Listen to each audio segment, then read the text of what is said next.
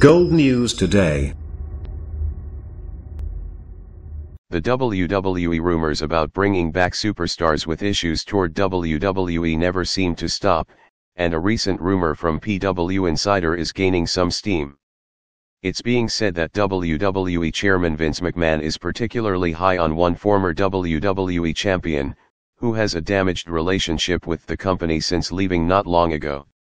However, it's being said that Vince just loves this one specific superstar who seems to have issues related to the chairman's son-in-law, and possibly a few other members of the WWE roster.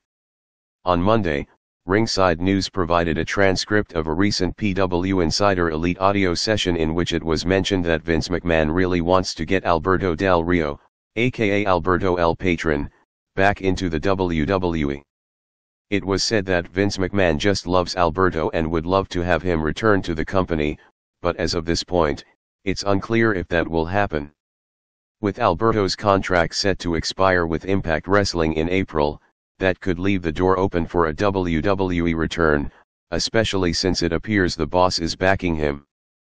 That's good news for Del Rio based on the issues he's voiced toward WWE since leaving the company. It's mentioned that WWE fans last saw Del Rio, real name Jose Alberto Rodriguez, in the ring on the August 16th episode of SmackDown Live. During that show, he lost a match to John Cena before being released by WWE the next month. He went on to join Impact Wrestling where he won the GFW Global Championship and then defeated Bobby Lashley to achieve the unified GFW World Heavyweight title. However, Del Rio, who worked in Impact as Alberto El Patron, has had plenty of issues outside of the wrestling business, but still related to it. He is the former fiancé of current WWE Raw roster member Paige, who had a rocky situation with WWE, involving her injury, a leaked sex tape, and various issues while she was trying to get back to her wrestling career. Patron went on a few drunken rants where he recorded comments on social media to call out Triple H and even The New Day.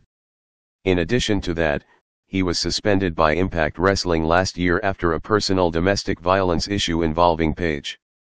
He originally debuted in WWE in 2008 after a number of promos touting his money and lavish lifestyle. The Mexican superstar ended up going on six-year run with the company. During that period, he won the WWE Championship and World Heavyweight Championship belts.